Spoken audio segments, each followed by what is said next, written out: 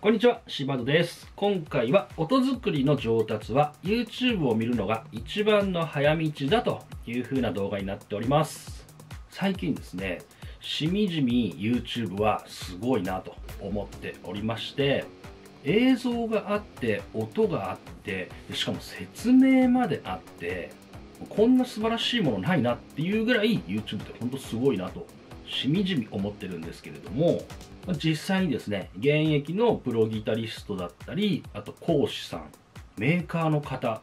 素晴らしい方々がですね動画を上げていてでしかもですね自分なりの見解でお話をしてくれていると。もうすごくリアルでですね素晴らしいなと思っております。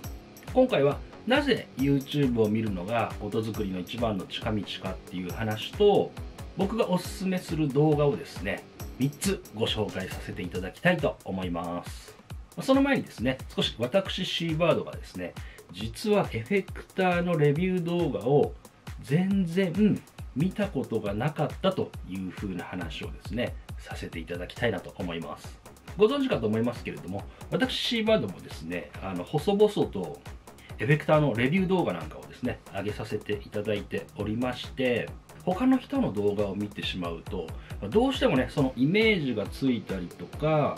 なんか思い込んじゃって流されてしまう。意見を流されてしまうとか。なんかそういうことがありそうであんまり見てなかったんですよ。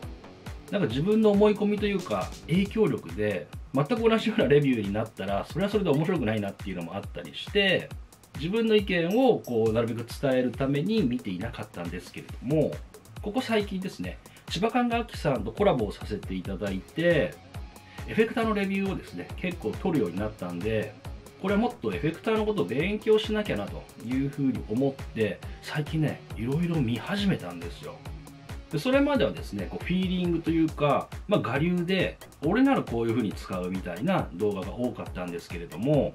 他の方の動画を見ることによってなんかね視野も広くなったし何より本当勉強になるなというところでこれは皆さんにねおすすめしなきゃな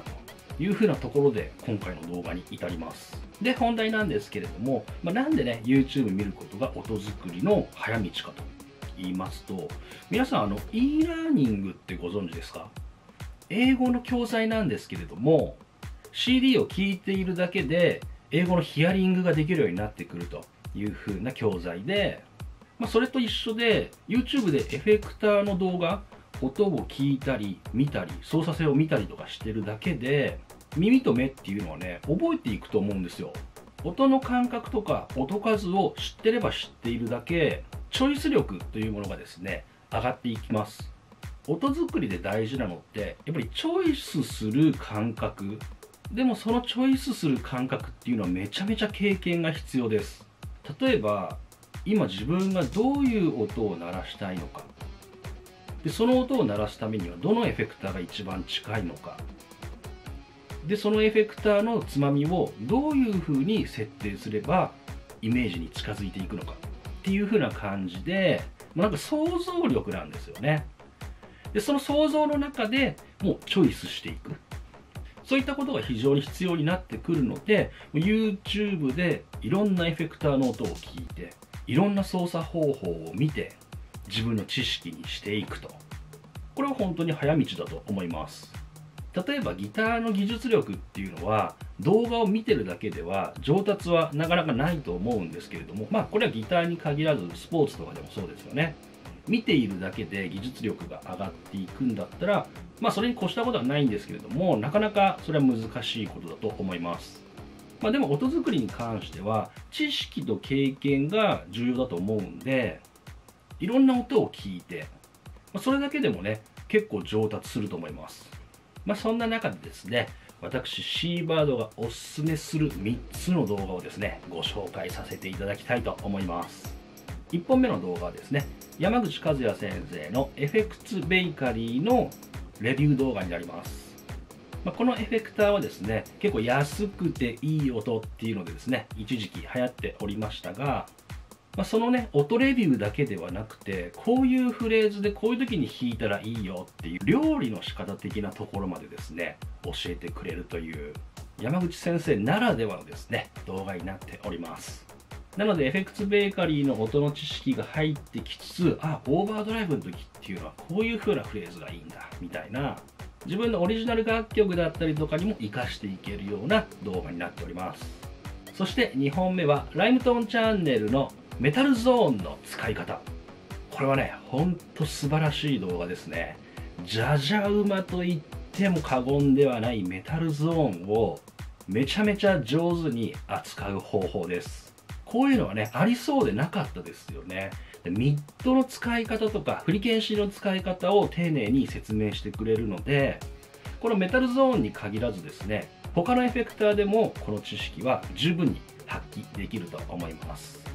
そして3本目は副島俊樹さんのボスのエフェクターで真空管みたいな音を作ろうというふうな動画です。この動画はですね、副島さん自身がボスを高校生の時に使っていたけれども一回やっぱそこから離れて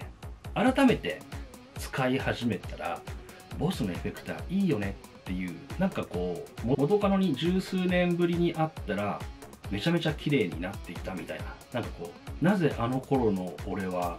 君の良さに気づかなかったんだろう的な感じの動画になっててこれがですねなんかしみじみいいなと。改めてボスの良さをですね教えてくれるというところとシンプルな SD1 とか OD3 の細かなセッティングを教えてくれるところが非常にいいなと思いました。例えば SD1 って実はドンシャリで若干こうトーンを絞るとめちゃめちゃいい感じの音になりますよみたいなちょっとしたコツとかをですね教えてくれる動画になっております。こちらの3本備考欄に貼り付けておきますのでぜひぜひ見たことない方はご覧ください。というふうな感じでですねエフェクターの動画をたくさん見てたくさん聞いてということでぜひですね私シーバードの動画もですね見ていただけたら幸いだなというふうな感じでございます。これからもエフェクトのレビュー動画は続けていきますので何卒よろしくお願いいたします。ご視聴ありがとうございました。チャンネル登録よろしくお願いします。